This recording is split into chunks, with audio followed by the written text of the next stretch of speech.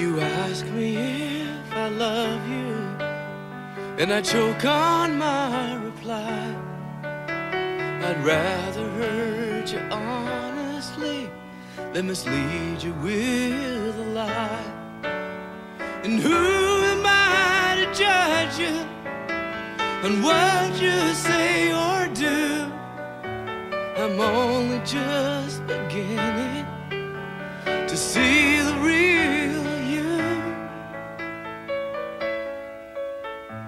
sometimes when we touch, the honesty's too much, and I have to close my eyes and hide.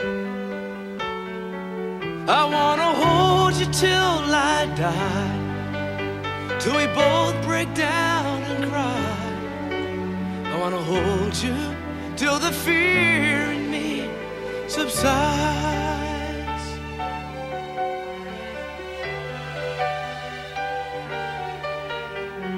Romance and all its strategy leaves me battling with my pride.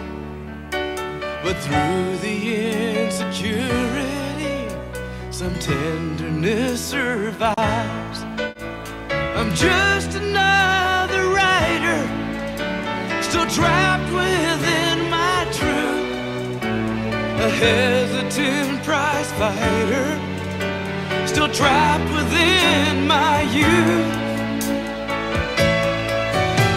And sometimes when we touch, the honesty's too much, and I have to close my eyes and hide. I wanna hold you till I die, till we both I wanna hold you till the fear in me subsides. At times I'd like to break you and drive you to your knees. At times I'd like to break through and hold you endlessly. At times I understand you, and I know how hard you try. I've watched while love commands you, and I've watched love pass you by. At times I think we're drifters, still searching for a friend, a brother or a sister. But then the passion flares again. Sometimes when we touch, the honesty's too much. And I have to close my eyes and hide. I wanna hold you till I die, till we both break down and cry. I wanna hold you till the fear in me subsides.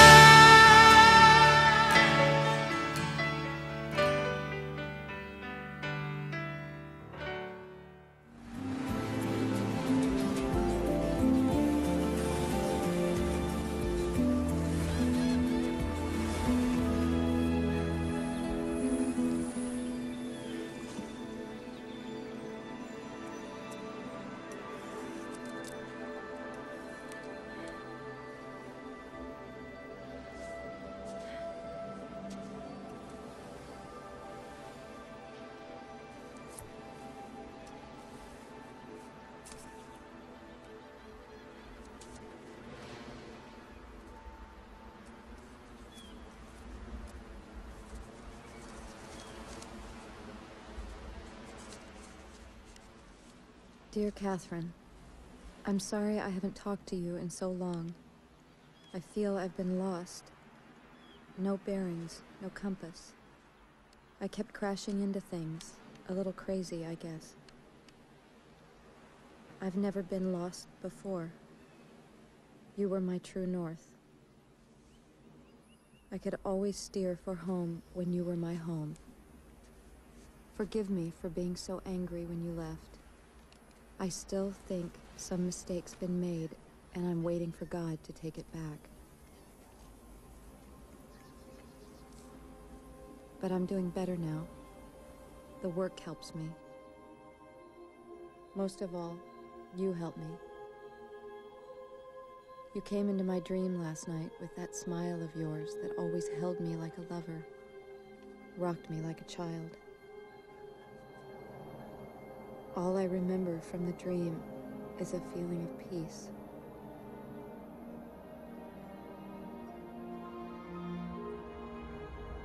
I woke up with that feeling and tried to keep it alive as long as I could. I'm writing to tell you that I'm on a journey toward that peace, and to tell you I'm sorry about so many things. I'm sorry I didn't take better care of you so that you never spent one minute being cold or scared or sick.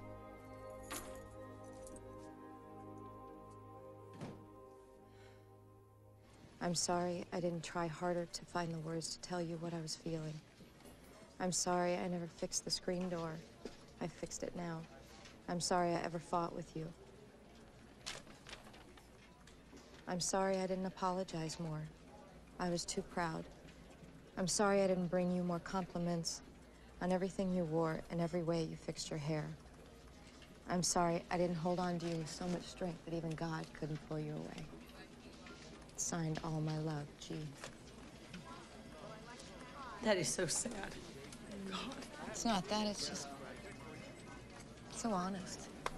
I mean, this could be like hundreds of years old. It's tight, Alva. Dear Catherine, there isn't an hour of my life without you in it. I mend the boats, test them, and all the while the memories come in like the tide. I was thinking today of when we were young and you left our world for a bigger world. I was a lot more scared than I would admit. I fought my fear by telling myself you'd come back someday and trying to think of the first thing I'd say to you when I saw you again. I must have tried out a hundred possibilities. What did I finally say? Not much. My mouth wouldn't work except to kiss you. And when you said I'm here to stay, that said it all. Well, I'm doing it again. Wow, I keep imagining what I'd say to you if somehow you came back.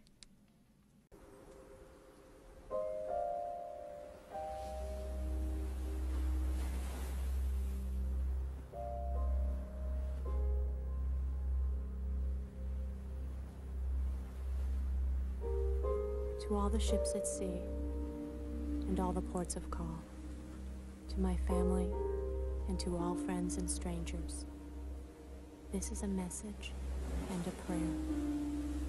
The message is that my travels taught me a great truth. I already had what everyone is searching for and few ever find.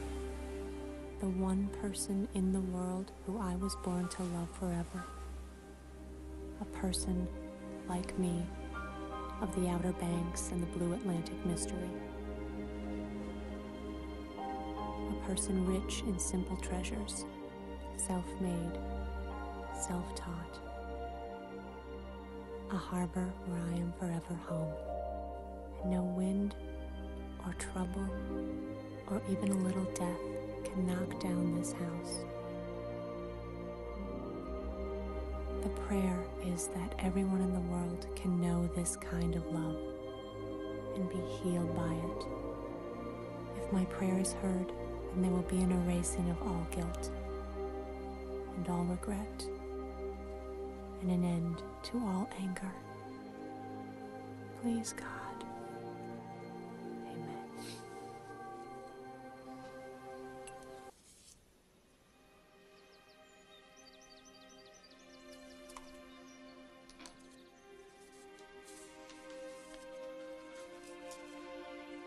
Dear Catherine, my life began when I found you, and I thought it had ended when I failed to save you. I thought that hanging on to your memory was keeping us both alive, but I was wrong. A woman named Theresa showed me that if I was brave enough to open my heart, I could love again no matter how terrible my grief. She made me realize I was only half alive. It scared me and it hurt. And I didn't know how much I needed her until the night I watched her fly away. When that airplane took off, I felt something inside of me tear away. And I knew I should have stopped her. I should have followed her home. And now tomorrow I'm going to sail to the Windy Point and I'm going to say goodbye to you. And then I'm going to go to this woman and see if I can win her heart.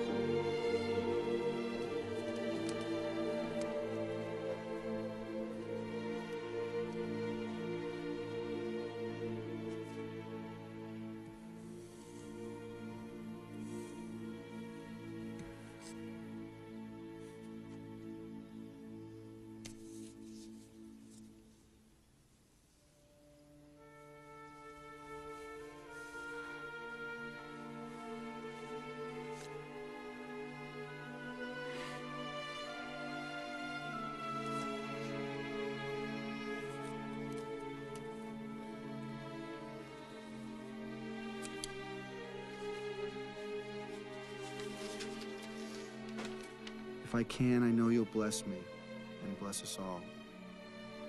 If I can't, then I'm still blessed because I've had the privilege of loving twice in my life. She gave me that. And if I tell you I love her as much as I loved you, then you'll know the whole story. Rest in peace, my love. Garret.